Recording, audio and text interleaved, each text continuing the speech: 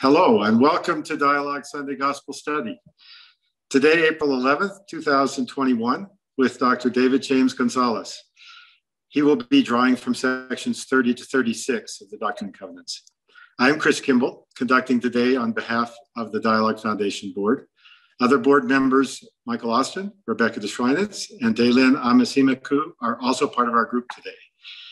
Uh, we are using our webinar format on Zoom and running a live stream on Facebook, and it should be live now. We are recording this program. For viewers on Zoom, there's a chat and where you can comment, ask questions, and we will review and watch that chat. We'll also be watching comments on Facebook and try to introduce comments from both the chat and the Facebook when, when appropriate today. Um, for our lesson today, I'm delighted to introduce Dr. David-James Gonzales. Dr. Gonzales is assistant professor of history at Brigham Young University in Provo, Utah. He teaches courses on race, race or ethnicity, on immigration and Latinas and Latinos in US history. His writing has been published in scholarly journals, anthologies, and newspapers, including the Journal of American Ethics, I, I, have American Ethics. Well, that would be interesting. The Journal of American Ethnic History, American Studies, 50 Events That Shaped Latino History, and the Salt Lake Tribune. David-James, or DJ, is also a co producer and host of the podcast New Books in Latino Studies, part of the New Books Network. We're excited to have Dr. Gonzales with us today. And as always, I repeat our regular qualifier. We invite speakers for their personal insights, for their own voice. DJ speaks for himself today, not for the Church of Jesus Christ of Latter day Saints, not for BYU, and not for the Dialogue Foundation. Our program today will begin with music. Um, we're going to open with His Hands, performed in ASL by Susan Layton. And our opening prayer will be offered by Amanda Daniela Galan, a senior at BYU who is majoring in Latin American Studies. Nuestro querido y amado Padre Celestial, te agradecemos infinitamente por las oportunidades que tenemos de uh, poder compartir conocimiento de tu Evangelio juntos y de poder tener las escrituras como nuestra guía. Te rogamos, Padre, que nos bendigas para que en este día podamos, um, el profesor González pueda tener el espíritu que necesita para hablar de temas referentes a ti y a tu Evangelio y para que todos podamos escuchar y poner en práctica las cosas que el Espíritu nos diga que debemos hacer. Estas cosas las dejamos en el nombre de tu Hijo Jesucristo. Amén. Amen. DJ, you have the floor. Thank you, Amanda. Okay. yes, uh, thank you, Amanda. I have a lot of thank yous uh, to give uh, really briefly. Um, Amanda, it was a beautiful prayer, and um, thank you for accepting the invitation. Um, Amanda is one of a, my wonderful students. I claim her as my own, although we all get to share her at BYU. Uh, so I thank her for, um, she's been among, um, you know, the several students that have really touched me and I've been able to learn so much from and, and really helped me to find community at BYU. So um, thank you. I also want to thank the, um, the dialogue uh, board for the invitation. I want to uh, I want to thank you for the community that you have built um, throughout this pandemic. Uh, as I, I think of the pandemic and and all that's occurred in this last year, as many say, it feels like it's been maybe 10 years or so. Uh, but when I, I, I, look at the blessings that have emerged out of the pandemic, this was one of my first thoughts. This is one of the first things that I go to. And um, I know it's taken a lot of work um, and, um, and, so I, I, appreciate that very much. And, and I want to connect what you've done, um, you know, with dialogue and, and, with these Gospel Sunday lessons to, to our lesson today. Um, in essence, these chapters uh, or these sections in the Doctrine and Covenants and, and, and a few of the stories I'm going to highlight, they center on the process of conversion and, and people simply desiring what it is the Lord would have them do. That, that comes to them, you know, being called to share the gospel, um, which is in its essence, whether we want to call it preaching, sharing, it's inviting. We're inviting people to come to Christ. And that's exactly what uh, these study sessions ha- have done. So thank you for that. I also just want to point out the, um, uh, the beautiful song, um, His Hands. It's a, it's uh, I, I, probably first heard it on my mission, uh, roughly 20 years or a little over 20 years ago now. Um, and I've been listening to it all week. So it's uh, uh, last couple weeks, I think, just the Easter, um, you know, holiday and uh, this, the entire Holy Week has just, um, you know, been a wonderful time to reflect and, and to have conference. And so that song has been um, on my mind a lot, particularly, you know, that last, that closing lyric. I am not yet as I would be. Uh, he has shown me how I could be. I will make my hands like those from Galilee. Again, to me, that, that crystallizes the message of this lesson. You know, when we think of uh, sharing the gospel, you know, um, it's that's what it's all about. It's about bringing people to Christ. It's about helping them um, experience the joy uh, that, uh, that that we have felt, and um, so that is the essence of it. So thank you uh, again for that. Uh, let me also just point out that uh, as we go through the, the lesson, um, I, would, I already see the comments coming. That's wonderful. Thank you. Um, again, we're going to be discussing mostly sections uh, 30 through 36, but I, I will be uh, really transparent. We're, we're primarily going to focus on sections 31, 33, and 34 uh, due to the examples that uh, there's three specific kind of stories that we can use to highlight here so the messages. And um, so I hope that we can get to 28, 30, and 32, um, but uh, primarily we'll be focusing on 31, 33, and 34. So uh, definitely keep the comments coming and we'll, we'll try to include those as much best we can. Uh, to begin, I want to think of, again, kind of where I, I began with, uh, you know, when we think of the call to uh, preach the gospel, um, at least for me, uh, I'm, I'm, asking here, what, what are the thoughts that come to your mind? How do we do that? Uh, these sections give us examples of, again, people that have this desire. Um, they go directly to the prophet. You know, at this time, uh, the church is very small, and they're able to do that. Um, and they go to the prophet to, to seek guidance and direction and, and how that can be done. Um, but there's, uh, you know, so when we think of the actual title of these lessons, which um, in, in the standard gospel study guide, it's, I believe the subtitle is, You Are Called to Preach My Gospel. What I find interesting is, you know, I'm currently serving in the young men's and the teacher's quorum, and in the lesson manual, which is essentially the same thing, it just has a different picture and a different title. Uh, it's How Can I Invite All to Come unto Christ? And, uh, and again, that's kind of what I want to focus on with these, these sections. Um, that is our, our charge, is to invite others to come into Christ.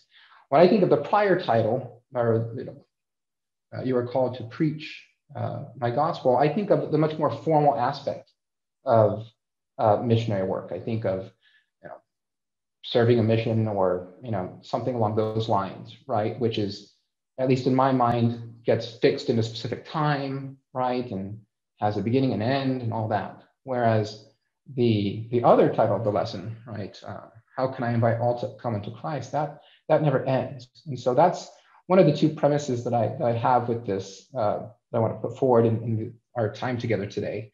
Um, that is that we never stop inviting all to come unto Christ. That if we look at the preaching of the gospel, the sharing of the gospel in that way, it it, it, it encompasses everything that we do, everything in our life. Uh, as Christians, as followers of Jesus Christ, whether we receive a calling to do something specific, specific or not, um, that is our charge. That's the covenant that we make uh, in following Christ.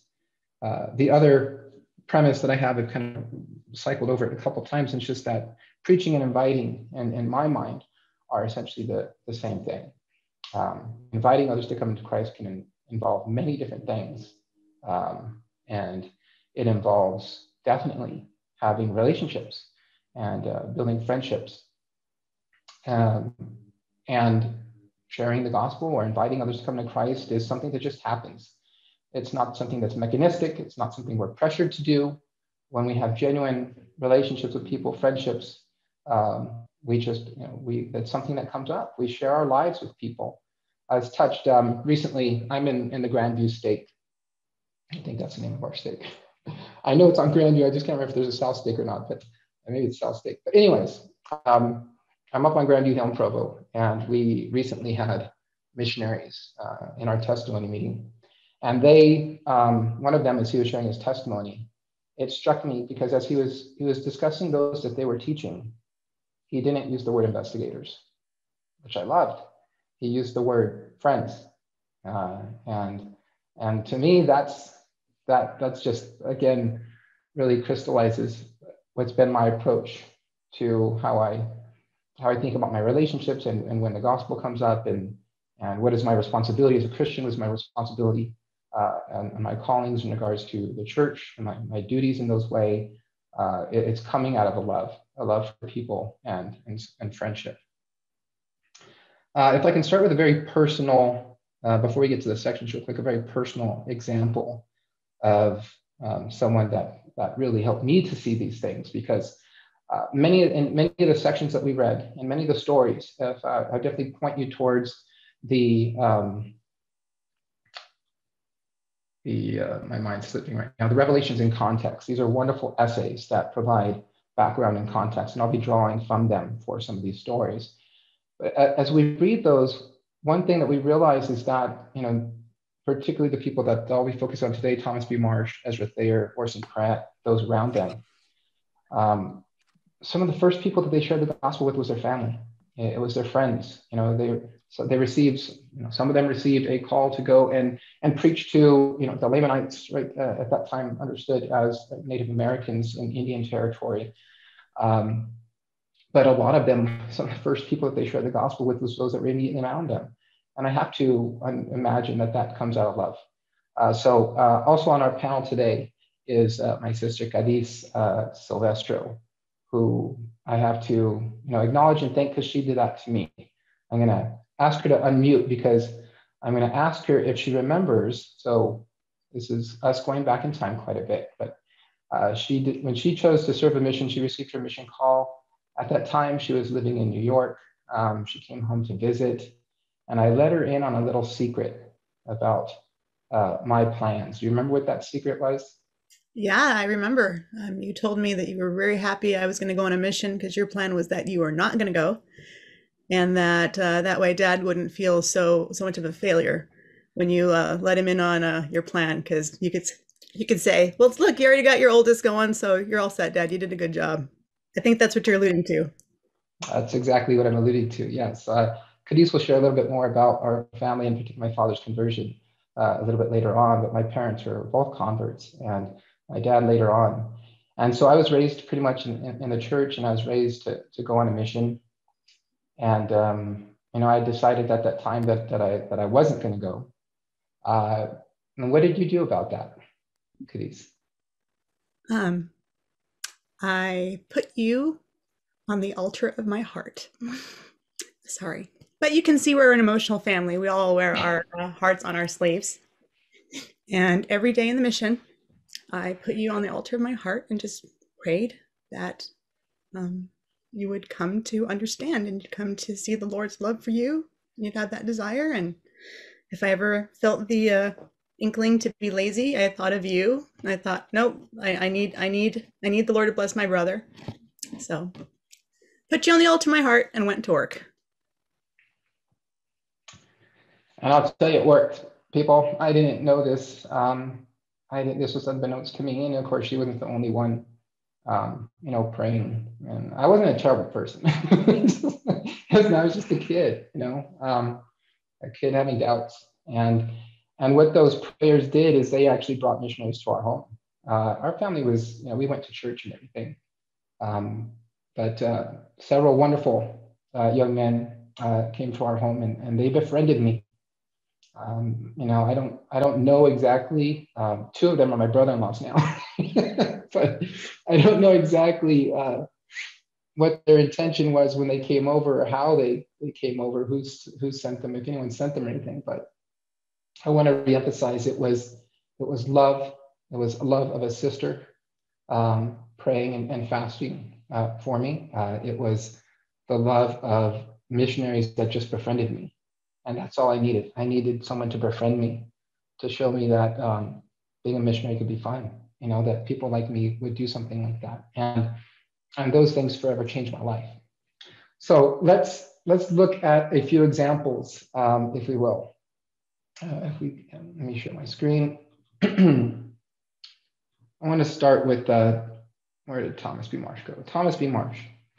Uh, those that, uh, and I should have, I, I, had planned to pull up a picture of Thomas B. Marsh. So sorry. Sorry about this. There we go. Here's some images. So we may be familiar with Thomas B. Marsh, um, mostly maybe because of his experience in the church is maybe a very cautionary tale. Uh, he had a, a, dramatic rise and he had a dramatic fall. Um, and the fall, I guess, will be discussed in a later lesson. And what I want to focus on today is, is really his conversion uh, and, um, and his call. Uh, so Thomas uh, Marsh, let me get my notes back up. But uh, Thomas B. Marsh was born in 1799. Here we go, go back here. And uh, at the age of 14, he essentially ran away from home, which I'm just trying to imagine uh, what what led him to do that. I don't know. Um, we don't know too much, at least that the essay doesn't go into too much detail about how that happens.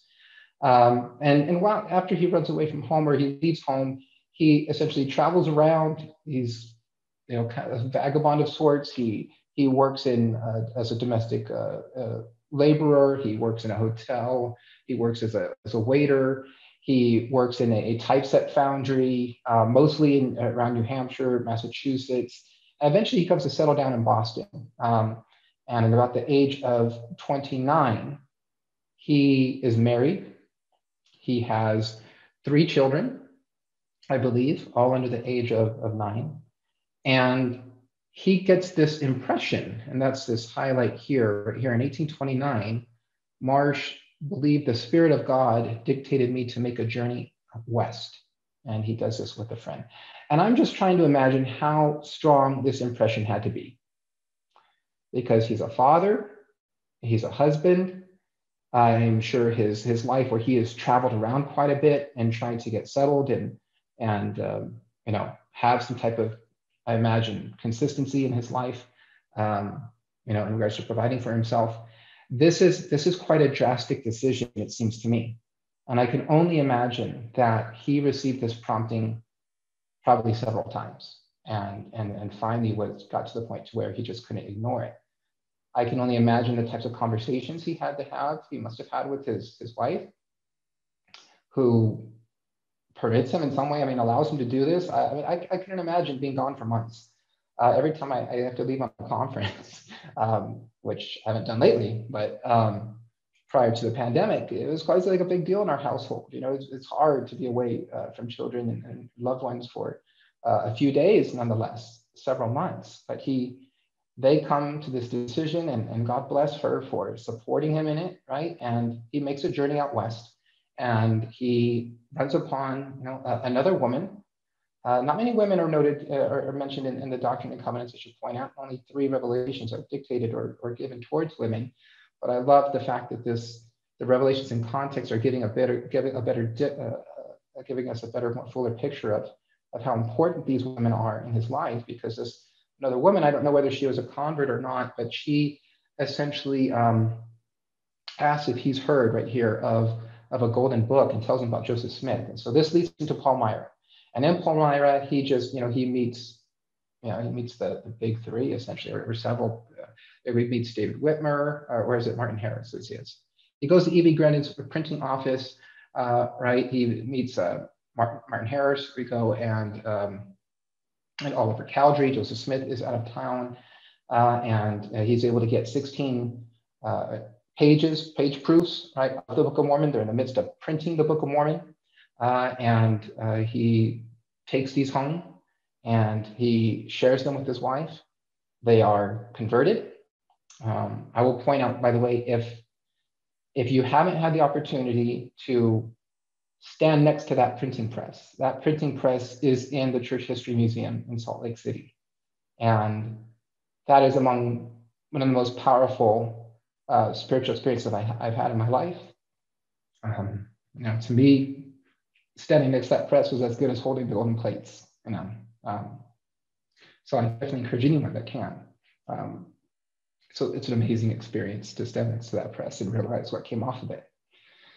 So they're converted, right? And um, he maintains con, uh, uh, in contact, correspondence with um, with Joseph Smith, of Cowdery, and his parent, his family decides to just pick up and move to Palmyra. Um, and uh, they do that. And so he goes to Palmyra, and it's there where he is baptized by David Whitmer. He is ordained as an elder in Oliver Cowdery, and uh, his kind of amazing meteoric rise in, in the church you know, begins there. Um, like many of these, uh, in many of these sections, shortly after these people are baptized, uh, they go to the, the prophet and they're seeking guidance, right? And so I, I want to pause right here and, and, see if we can get some comments or, or uh, from uh, those that are viewing. I, I, was thought of, you know, that's this is the way that they could they could kind of seek more wisdom on what they should do. They had they had followed these promptings. Ezra Thayer does the same thing. He's an example here. Orson Pratt, it, it's all kind of a similar thing, right? They they get baptized, they move, they pick up and move, and uh, it seems like they follow the, the, the, promptings of the Spirit, and then they, they get to um, Palmyra or New York with, with their, they're uniting with the saints, and then their, the next question is, what, what do I do now? And so my question is, how do we get that direction today? Um, and there's no particularly right or wrong answer. I'm just trying to collect some thoughts here on uh, when we have those type of inclinations, um, we're seeking further guidance, right? Even beyond what we can get ourselves, our own personal inspiration. Where do we go for that?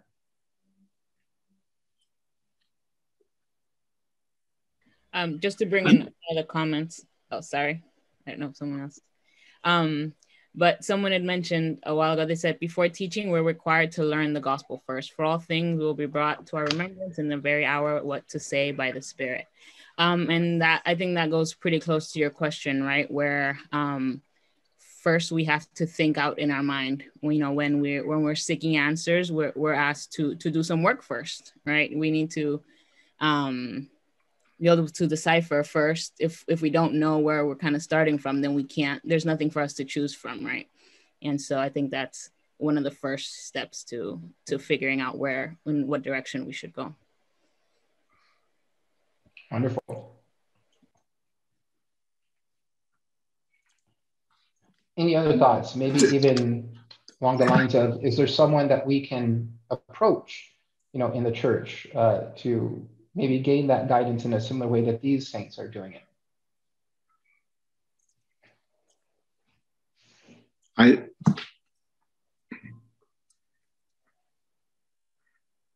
I don't see comments here yet. Here, um, I've also had these experiences. I was also told I would be for the members and to teach faith. Um, so reference not, specifically to like Thomas Marsh, right? Who's who's told he'll be he's called to be a physician of the church, right? And I'm wondering, Cheryl, where, who told you this? Uh, where did that where did that come from? Is this uh, something personal that came to you? Thank you. Okay, great. Great. From from the Lord. That's uh, I'm not sure everyone can see all the chat. So that's Cheryl saying from the Lord. I have wondered because these are messages coming through Joseph Smith. Um, I've wondered whether people look for a a road of Damascus, a road to Damascus, a Saul to Paul kind of um, inescapable experience and the um, I suspect that experience is rare. That there that the that if it's whether it's Joseph Smith or a still small voice or a, a an inclination that it's uh, for most of us it's a small thing, a uh, a nudge rather than an overwhelming uh, force. Uh, and I, I I think we should at least think about, talk about that. Thank you, Chris. I completely agree.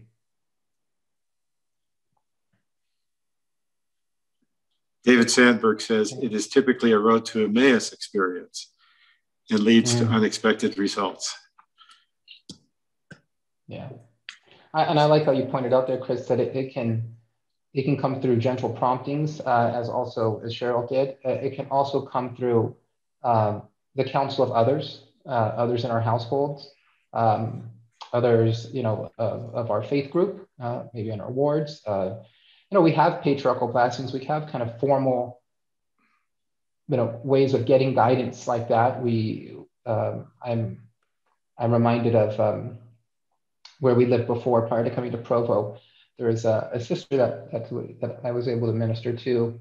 Um, and it was, uh, it was just her and her two daughters. She's a, she was a single mother and uh, she was a relatively recent um, convert to the, to the church. She had joined the church, I think within the, the prior 10 years, but um, uh, you know, her dominant language was, was, was Mandarin. Uh, she spoke English very well.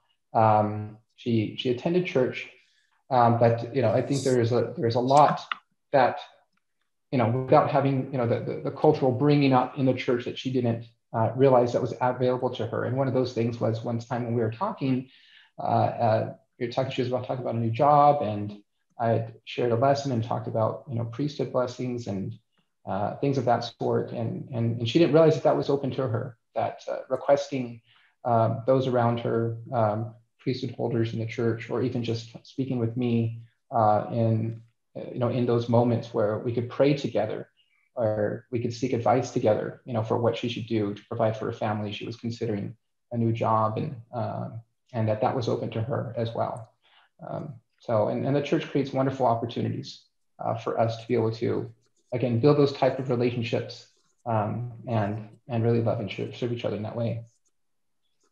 Yeah, there's a couple of comments here. Um, developing whatever that feeling his sister had for him um, and, you know, not just for a sibling, but for others. Uh, we don't always know how to do that, but I suppose it starts with those in the household.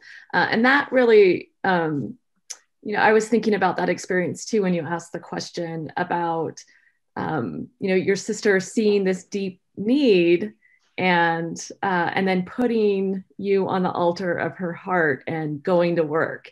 And I love that that kind of that process, that thought of that process, right? Seeing the need, um, allowing that to touch your heart, be in your heart, and then going to work. And I think that's um, often how that how that happens, right? Allowing ourselves to see need and to be touched by that. Thank you for pointing that out, Rebecca, because uh, I just emphasize I wasn't asking for help. you know, or maybe I was, right? And I just didn't realize it. Maybe, you know, maybe the, the spirit was the thing that prompted me to admit this to my ex. I hadn't told anybody. I hadn't told anybody. This gonna be a big secret. I was, uh, my great plan was to move out of the house because my dad was gonna kill me, right? That's an exaggeration. My dad's a very loving person, but I knew how disappointed he would be, right?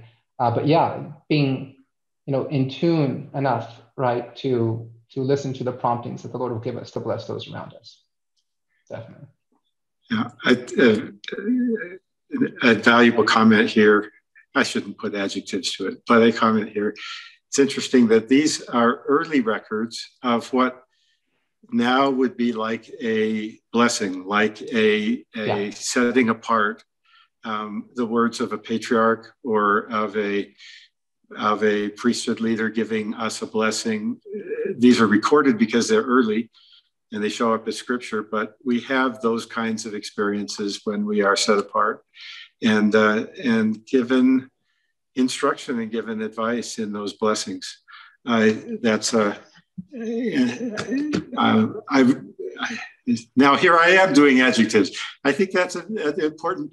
I mean, this is these are early church experiences, but um, but if you translate them to 2021, they happen all the time. Um, it's not Joseph Smith, but it's uh, it's happening. I, I, I have a different experience. I would add in here. This is me personally, um, because sometimes I will think, oh, it's a patriarch speaking. It's my bishop speaking. Of course, he's going to say that.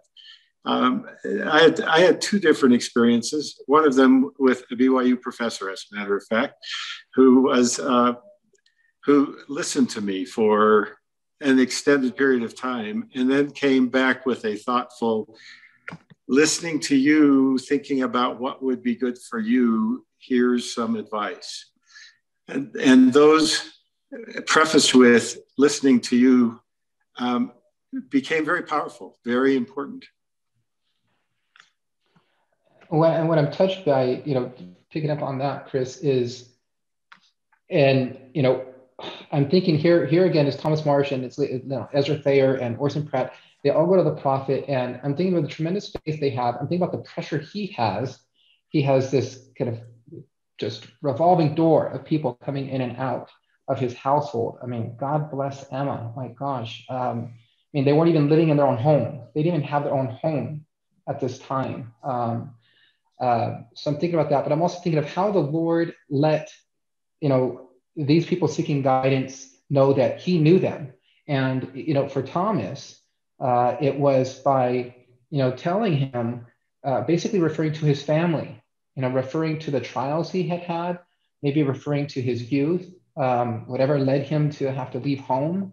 Um, mentions here in verse 2 Behold, you have had many afflictions because of your family. Nevertheless, I will bless you and your family, yea, your little ones. And the day cometh that they will believe and know the truth and be one with you in my church. Um, I, I have a very similar, a very similar type of wording in my own patriarchal blessing that refers specifically to my family, concerns about families, not about the trials. It's but it's referencing things that I had thought about, not about just my existing family, my family at that time, which is my siblings and and my parents, who uh, I was very blessed uh, and am still blessed to have with me, but also thinking a lot towards the future. And you know, my my blessing put me at ease regarding so much of those things. And, and here's the Lord uh, and I'm sure, you know, I, am sure Joseph Smith learned some several things about Thomas Marsh, but uh, you know, there are earlier experiences of Doctrine and Covenants right, with with Oliver Cowdery, with with you know Martin Harris, with several others, where the Lord begins the revelation by, by basically saying, "I know you," and and dropping a little tidbit by by saying, "I know this has been on your mind," and um, you know to let let them know that, that uh, uh, what's coming, because then what comes after this is this calling, right? And it, it's it's it's kind of it can be a pressure, right? So when we think of the things we're asked to do, or, or just the pressure, maybe there's pressure of the responsibility of being a Christian, of, of, of knowing that we should invite people. That that can be a that can be a lot to carry sometimes, um, particularly when we're worrying about our temporal needs, our families. You know, um, again, I can, I can only imagine what these people are experiencing. They're picking up stakes We're unexpectedly, you know, our family found out we have to we have to move. We have to move soon um, we're staying, hopefully we stay in Provo, but uh, it's just our own circumstance. And I, am just reading these, these, these sections and, and understanding what they are doing and all that uncertainty has really struck me on how the Lord approaches them in these revelations to let them know that I know you, I love you. I'm going to ask you to do something that, that you probably don't think you can do, but you can do it. You know, and he promises them that they, that they can. Um, transition to uh, Ezra Thayer, and I'll uh, really quickly. So, um, and, and, also the just to reemphasize that one of the things that Thomas Marsh is, is called to do, uh, he eventually becomes, you know, an apostle. He's one of the first apostles. He becomes, you know, the first president uh, of the quorum of the twelve apostles, and um, you know, he's called to be a physician to the church. And and so much of the work that we do is it's not just again outside of the church. It's it's it's our interactions with each other um, everything that we do uh, in the church, every colony uh, is us being a physician to each other, right? Trying to bring each other, help each other come into Christ. The, the second story here with, with Ezra, Ezra Thayer, um, little bit big, different of a background. Uh, Ezra Thayer comes upon the gospel when he's older. He actually knows Joseph Smith. Uh, they had Joseph Smith and his father uh, and his brothers had, and Hyrum, I believe, had worked for him. So when he hears uh, in the fall of 1830 that um, you know Joseph Smith, this this boy and his family that has worked for him as essentially like wage, wage laborers, right? Um, that he's like a prophet. He's publishing a book of scripture, right? Thayer's response is disbelief, right? He, he's just like, no way, not this kid, not this family. I know them, right? And uh, what opens his heart uh, again is, is, is his family members. His family members actually start to go and listen. Um, and uh, so he has this skepticism to him, and, and it's really not until his older brother comes and basically almost forces him to go with him and says, "Look, you you know the Smith family. How hard can it be just to go listen to them?" Um, and so he does. You know, on one evening in, in October, they go, they travel. He, he listens to um, particularly Hyrum Smith begin to preach, right? And it's described right here that as he listened to Hyrum, right, his resistance melted away. He later wrote about this his experience that day. Every word touched me to the inmost soul. I thought every word was pointed to me. The tears rolled down my cheeks. I was very proud and stubborn. There were many who were there uh, who knew me. Uh, I sat until I recovered myself and dared to look up. And then he shares how he, he buys a copy of the Book of Mormon because that's what you do at this time. They need cover, they need to cover the cost of printing. And as he does this, Martin Harris, you know, who's standing by, basically says, "Hey, yeah, you know, he, he probably bears his testimony to him as well." And what I love about this is that, you know, Ezra responds and says, "I already know it's true." Right? He didn't even have to read it, and I'm sure he did read it, but that power of testimony. And that's something that we see as, as a recurring theme in, in a lot of these revelations, that they are called to preach, they're called to lift their voice with the sound of a trump, right? And, and what is that supposed to be? They're not called to, many of these people, some of them are preachers, right? Like, uh, you know, Sidney Rigdon who converts and, you know, he's a preacher, Oliver Cowdery, uh, etc. I mean, they have these type of backgrounds, or Pratt, sorry. Uh, uh, uh, they have these backgrounds where they were preachers themselves, but Many of them, you know, didn't. And but what are they called to do? They're called to go and just share with people what they know to be true, what they what they share. And, and I'm going to ask my sister to unmute again. Cadiz, will you unmute? And because as I read this story, just the aspect of, of going from skeptic to, to really faithful believer reminded me a little bit of my father uh, in, in his story. I was very young when my father, uh, again, joined the church. I was like a year old, I believe. But my older sister and wiser sister, uh, Cadiz, was roughly five, six years old or so. So she she remembers this well. Can you tell us a little bit about um, Dad's conversion? Yes, thank you, DJ, for uh, inviting me to share in this um, moment and uh, in your lesson. Um, so my father very much um, was, I feel, a, a general believer in in God and that kind of goodness. But my father was very much opposed to any sort of organized religion.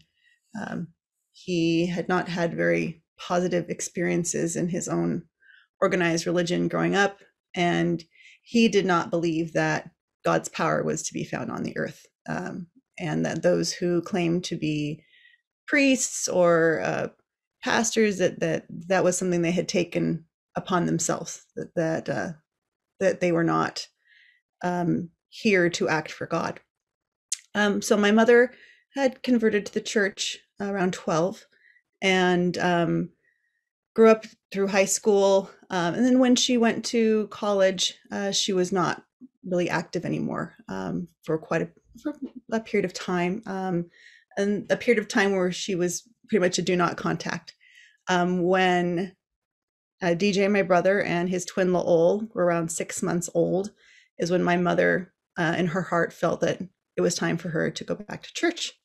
Um, so she, at this point, told my father that she wanted to go to church. My father uh, was a little surprised because he said, "Well, I thought we had agreed."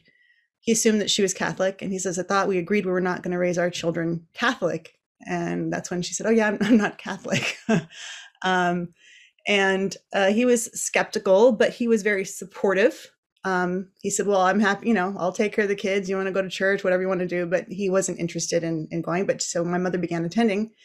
Uh, very quickly, um, her uh, home teacher from her childhood um, and uh, a visiting teacher that had been in the home very quickly uh, renewed their relationships with with my uh, my mother and um, her home teacher uh, named Jedediah Ashton.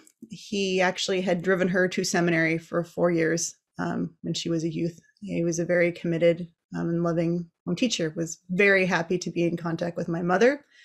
Um, very soon made a visit to the, the, home, explaining to my father what it was a home teacher was, um, and said that he would be visiting the home frequently, not monthly, but frequently. He'd be frequently there um, and he was frequently there, whether it was to bring a message, whether it was, oh, look, I picked all these oranges and lemons off my tree. Oh, my wife made some extra bread. He was there, my mom said, almost weekly. Um, he actually blessed David James and my sister Laol. He gave them their blessings when they were um, babies. He gave them a name and a blessing. Um, my father at that time wasn't ready to come and um, come to the church, but was fine with, oh, great, sure, you take them, get them blessed, that's great. Um, and so with these frequent visits, um, Brother Ashton showed love. And you know, I just want to preface this not everyone is at the time of life or in the situation of Brother Jedediah Ashton. He was elderly, but with a lot of vigor and retired. Um, so he had a lot, a lot of time. So I'm, I'm not, uh, when as I share this experience, I hope people can understand that we, you know, this was very unusual and that there is no expectation that that people need to serve in this exact same way because of their own family circumstances, lives, jobs, obligations. But um, so my father at first would hang back, stay in a different room. Um, uh, but it was about six months, and then suddenly Brother Ashton would come, and my father decided he was going to come to the living room and, uh, and listen in. Um, Brother Ashton noticed that we didn't have a garden and asked my mother if she was interested in, in him coming and helping her put in a garden. Brother Ashton came over and put in a garden. Uh, he knew that my father was preparing to paint our house. We lived in a old Tudor house with a very high pitched roof. Brother Ashton would not allow my father to climb the ladder um, to reach this high pitched roof in the trim because he said that well he was already he'd already raised his kids and if he fell off the ladder and died well so be it but if my father were to fall off then he'd have his wife and his you know at that point i think there was four children, or my mother was probably pregnant with the fourth by then, you know, and uh, he did not lead, need to leave his children childless. Uh, Brother Ashton learned that my father loved sports and loved to play softball and basketball. He invited my father to come and join the church softball league. Um, and slowly over time, my father just gained real comfort um, and ability to get to know the members of the church, to see their goodness. Um, now, the Lord uh, he also was working, and my father had a um, very much a road to Emmaus experience, um, uh, visiting on a, on a random business trip with my grandfather doing land speculation in Utah, where they went to Salt Lake Temple. My dad thinking, oh, well, I can go to the temple and buy my wife a little, you know, Joseph Smith medallion that she can wear or something like that went to the temple, figured out, oh no, you can't do that, but you can go to the visitor center. He had an amazing um, spiritual experience regarding um, the restoration of the gospel and priesthood power on the earth, um, and how that was accessible to all, um, and not just for certain people to take that upon themselves and exercise dominion over others. Um, so, uh, my father was very much loved into a position of being open to receiving uh, the experience from the Lord. Um, this uh, brother Jedediah Ashton was like another grandfather to us. Um, he baptized my father. My father's a very large man, and Jedediah Ashton was a very small and aged man, and uh, uh, that was fun watching that happening in, in the in the baptismal font. Um, but my father didn't manage to take uh, Brother Ashton down with him. Brother Ashton was in the uh, temple sealing room when I remember coming through with my brothers and sisters when uh, it was time for us to be sealed to our parents, and the very first person I saw was Brother Ashton. Um, and um, this last thing I want to share, I mean, uh, so Brother Ashton, he, he passed. Um, the night before I entered uh, the Provo, Utah Missionary Training Center to serve the mission, uh, I had a dream. And in my dream, I saw Brother Ashton, and he told me how proud he was of me. And uh, I really felt that that was a, a true message because this man had loved us in the flesh. He had loved us in life, and even though that he was gone, I couldn't see any reason why why that love that he had expressed and shown for us, that concern, um, dedication, why that would go away um, through through death. Um, and I'm I'm so grateful for the angel that the Lord sent to our family um, I will praise Jedediah Ashton's name every day.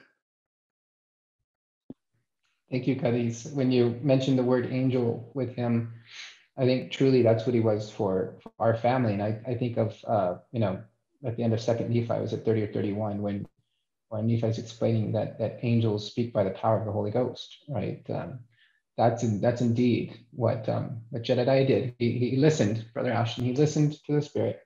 He followed the promptings. He was patient. He didn't have an agenda.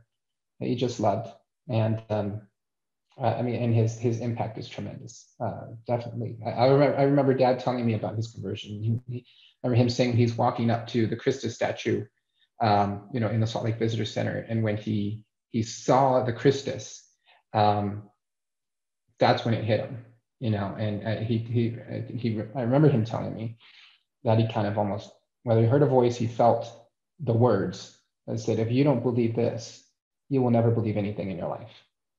And um, those are exactly Dad's words. That's correct. Yeah, yeah.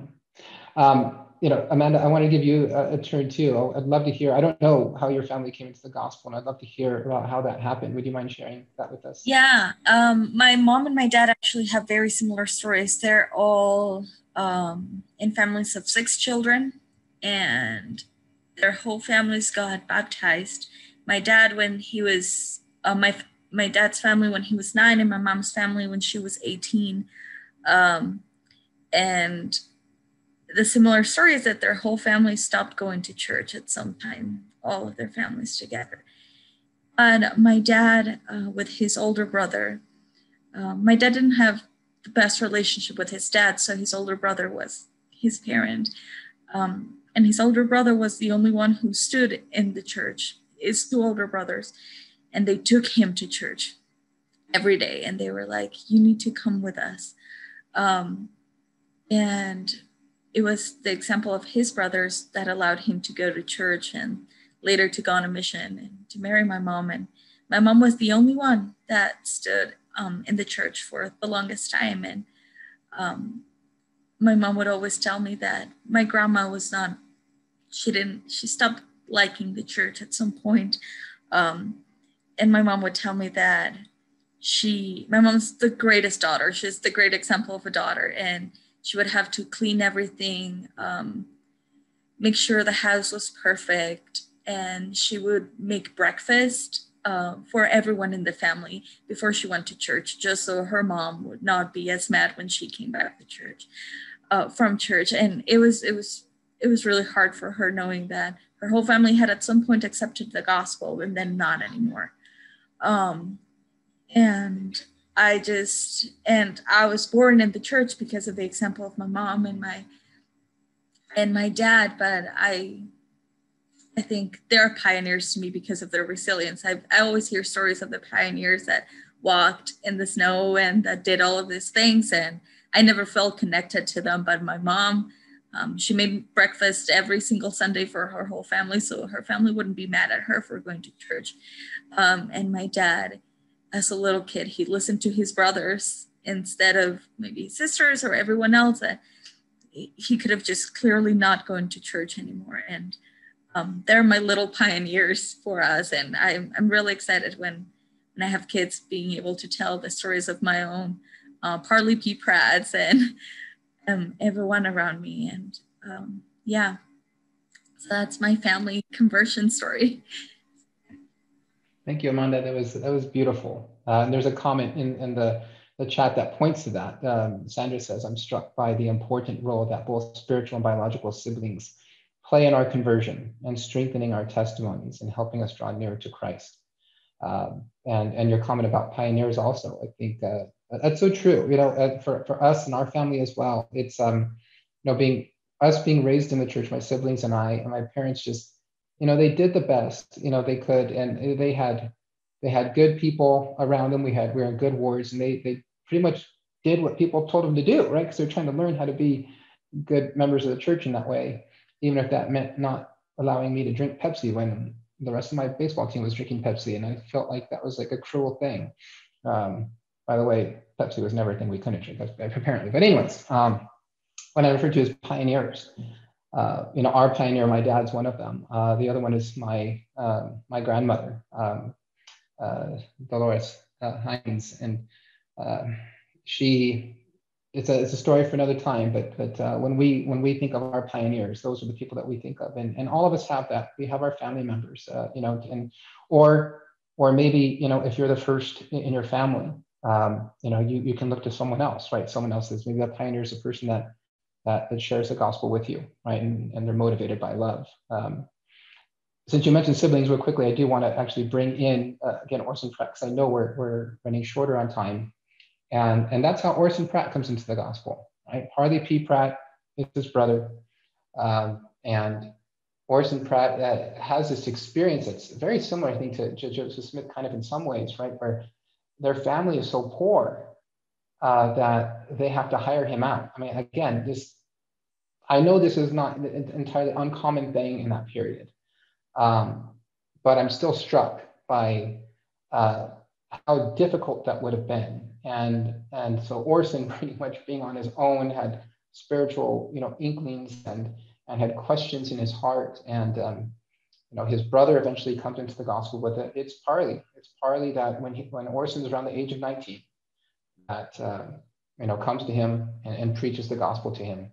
And and Orson had been prepared you know all that time. And and he joins the church and he's his, his I think his section is again can speak to those of us right when regardless of how long you know we've we've we've been a Christian or we are following Christ right? When we're we're asked to do something or we feel we need to do something and we don't feel ready. I, I, I love Orson's story because he's so young and he's called on a mission and he has all these self-doubts about himself. Uh, but again you know the lord tells him I, I know you. I've been preparing you for this. You can do this right?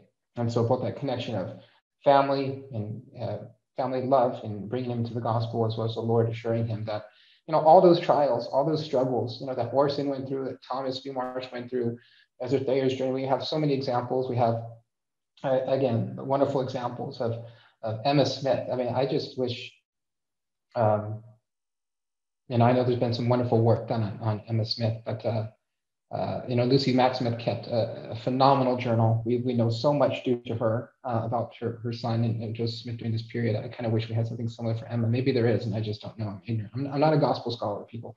You, you, heard my background earlier, so if it's there, I admit I'm ignorant. Um, but um,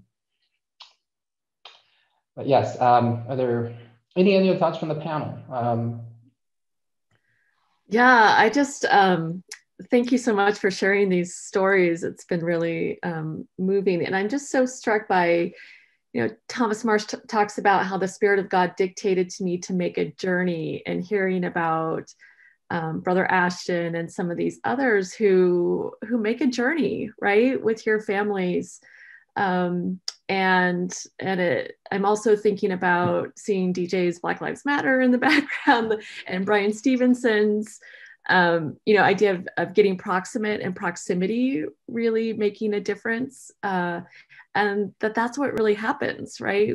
Um, is that brother ashton is willing to be proximate and to get in there and to put in a garden with your family. And i love that as both a literal and a metaphorical uh, reference to the work that goes in um, to uh, to that to sharing the gospel, um, sharing the love of Christ.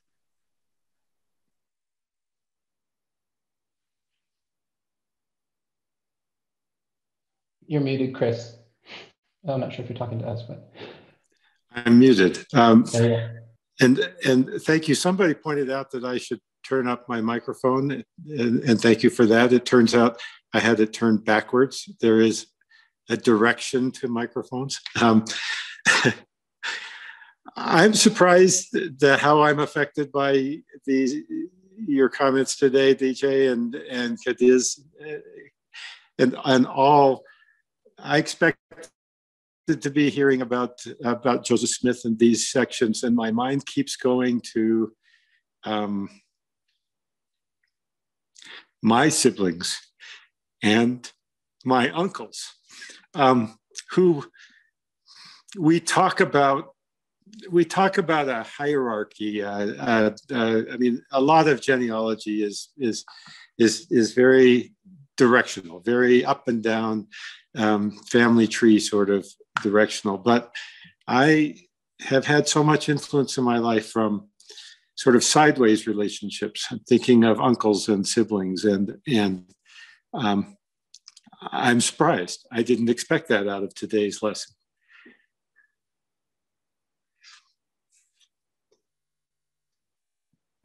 I just I'm now I'm muted. Go ahead, Amanda. Just one more comment is I really like the comment that was just in the chat that it's are we not all pioneers in our work to translate the meaning of the restoration in our day? Um, I'm really happy that I, in my opinion, of course, my uncles and my parents were my pioneers, but I feel like I've been able to translate the meaning of being a woman in the church and what the uh, priesthood means to me in my day. And um, I'm really excited for the way my children are going to translate the meaning of missionary work and how they need to preach to um, minority and ethnic communities and um, other types of communities. That it's a completely new understanding of the restoration of the gospel that as um, young people were able to have in our time. And I'm really excited have, of the way um, Professor Gabriel gave a talk on healing racism through Jesus Christ and of the way we um, as we get understanding and education of these topics, um, and as we become scholars or academics on these things, we're able to translate the restoration for even more people and for people that were always maybe ostracized and of the gospel and of the restoration and letting them know that it is for them and for their situation and Jesus Christ is healing their wounds. Um, so yeah. Amanda is a pioneer in more ways than she probably recognizes. Uh, at BYU, she is an incredibly valuable student leader. Um, she's helped uh, to run our, uh, she's led the our, our, student group Hispanos Unidos, which has been a group that was formed uh, by students at BYU uh, shortly after I, I, came, and I've been able to, to witness its, its formation and, and the wonderful student leadership that has gathered around. The whole purpose of that group is to build community uh, for Hispanic and Latino students, uh, as well as those that want to be in community with them uh, uh, on campus. And so, Amanda, you have done and continue to do amazing work. Um, it, it, makes me think of a realization that I had um, not too long ago um, when I was in, again in South Pasadena, um, the ward there. Uh, I was I was called to be the, the elders quorum president, and it was shortly after that call. I, I, mean, I was in the middle of a graduate program, a PhD program, um, and you know, I know it wasn't the end of the world or the, the most the heaviest of calling, but I felt like the weight of the world was kind of on me. You know, I had four children that uh, uh, my wife and I are, were raising in the midst of graduate school, and uh, we had already rebuilt our lives after we're in the process of rebuilding our lives after the 2007 to to 09 recession that devastated us. Uh, I was formerly a, a mortgage uh, banker. My sister's husband, my best friend, is my business partner in that. And we both had to completely rebuild our lives. So uh, after that, um, and my path led me to graduate school. And uh, but the point is, I, I get this calling, and I'm struggling, you know, as I'm commuting to and from work. I mean, to, to school in downtown Los Angeles, which is where USC is near. That's where I did my PhD. And I just didn't see how I had the time uh, to, to, to minister in the way that I needed to minister. And I felt like I was just such a failure. Um, but I remember getting the impression, and, and I was, you know, I was obviously, it was a very challenging program and time of my life. So I was reading my scriptures a lot. I was trying to do those things we're supposed to do, right? And the distinct impression came to me, and this is the point that I want to make here, is that there's only so much that I, there's a, I, it basically told me that I had reached pretty much the limit that I could get in drawing closer to God by just reading my scriptures and praying. You know, that I could do all that. I could go to church. I could go to the temple and, and all that stuff. I could do that individual stuff. I could try to fulfill my individual, con, you know, uh, covenants in that way. But if I wasn't going to serve and love, uh, then my, you know, my spiritual progression was capped. You know, that I was limiting myself. Um, and uh, that was that was an answer to me. I only I only just share that not to impose it upon anyone, but just to to say that that's when I realized and, and the door was open for so many opportunities for me to meet people um, and, and be able to serve them uh, that, that I just, I had no experience. I was still, I mean, even in my, my my mid 30s. I had I had no, I didn't have the experience to counsel the people that that I was put in contact with. I became friends with and loved them, and um, but just that simple desire to love was was the way forward. So, um, so I'll share that, and I know that we're we're running, we're short on time. Right end. Are we at the end? I I think that was a wonderful place to to end with your comment, DJ. Um, that uh, and and with that, then let's uh, let's enjoy a closing song. Um, we'll hear uh, from Junior Miley uh, because I have been given much. And then closing prayer will be Cadiz uh, Gonzalez Silvestro, whom we have come to know. Um, I have an introduction here. Uh, she's a 2002 BYU graduate in Spanish and family history. She's a family historian and an MA candidate in history at Harvard Extension. Um, but by today's stories, um, important to all of us. Thank you. Our dear Father in heaven, we are so grateful for the opportunity that we have to come together as a diverse online community from all over to build and strengthen our love for Thee and Thy Son, Jesus Christ. We are grateful for the opportunity to love, to include, to share our spiritual and a spiritual fire as well as the the fire of our hearth with those around us. We pray that we can be pioneers ourselves in making sure that our our wards and our stakes are loving places of inclusion where people can come and bring their authentic selves and be cherished and treasured and know that they have a place and we value them and value their voice. Please bless us that we will have thy spirit to be with us, uh, that we can reach out to those around us that despite uh, the continued pandemic and uh, the obstacles because of it, that we will find ways to reach out, to show love, and to build one another.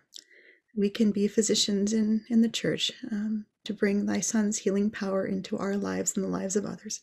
And we say this in the name of Jesus Christ. Amen.